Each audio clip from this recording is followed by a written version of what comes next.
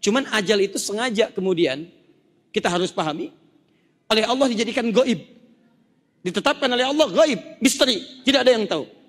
Sebab kalau diberitahu orang tidak akan nyaman dalam urusan kehidupan dunia. Bisa.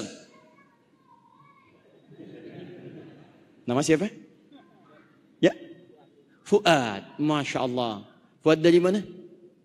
Dari Demak. Masya Allah. Tinggal di Demak, datang ke sini, atau lahir di Demak, tinggal di Bandung. Ah, Bandung di Pajajaran, asal dari Demak.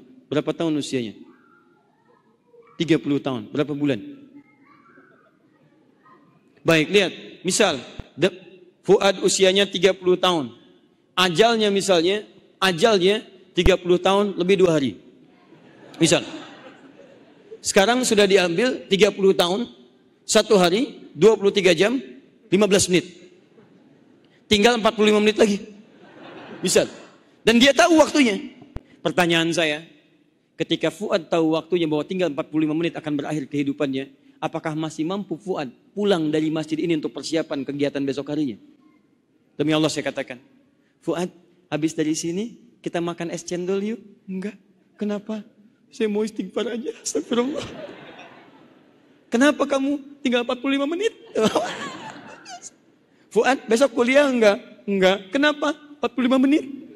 Jadi ketika Anda tahu ajal kapan itu terjadi, maka persoalannya Mohon maaf, manusia tidak akan tergerak untuk meningkatkan semangat dalam beribadahnya. Maka dari itu dirahasiakan oleh Allah tapi diberi petunjuk. Hei, walaupun saya rahasiakan, saya rahasiakan supaya kalian berkontribusi positif untuk berlomba mengisi sisa usia itu dengan nilai-nilai yang bermanfaat, dengan nilai-nilai yang berkah. Jadi seakan-akan begini, jangan sampai kamu kemudian wafat, usia kamu tidak bermanfaat.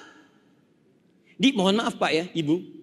Kalau Anda ada yang ditanya misalnya berapa umurnya sekarang, maka sesungguhnya kalimat itu titipan dari Allah kepada lisan kawan Anda untuk mengingatkan Anda. Dari sekian puluh tahun Anda hidup, berapa yang bermanfaat dalam hidup Anda? Jangan bangga jawab dulu. Bapak sekarang sudah 80 tahun. Pertanyaan saya, dari 80 tahun itu pernah nggak matanya dipakai yang tidak bermanfaat? Berapa kali matanya melihat maksiat? Berapa kali telinganya dengan maksiat? Berapa kali tangannya berbuat maksiat? Berapa kali kakinya berbuat maksiat?